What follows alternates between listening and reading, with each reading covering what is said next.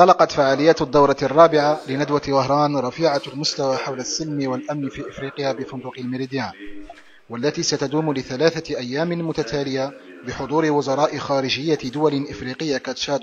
وأنغولا وبرئاسة ممثل الدبلوماسية الجزائرية رمضان العمامرة وسفراء دول أخرى ومبعوثين ومندوبين عن عدة هيئات إقليمية ودولية كالأمم المتحدة والاتحاد الإفريقي والاتحاد الأوروبي وجامعة الدول العربية.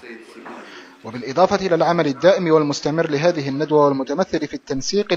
لتوحيد وجهات النظر وتحديث الاستراتيجيات مع الدول الثلاثة الممثلة للقارة السمراء في مجلس الأمن صفة أعضاء غير دائمين وهي مصر والسنغال وأنغولا التي ستخلي مكانها لصالح إثيوبيا في جونفي 2017 بهدف إسماع صوت واحد شرعي لإفريقيا في المحافل العالمية يرافع عن القارة جمعاء في القضايا التي تمسها مباشرة.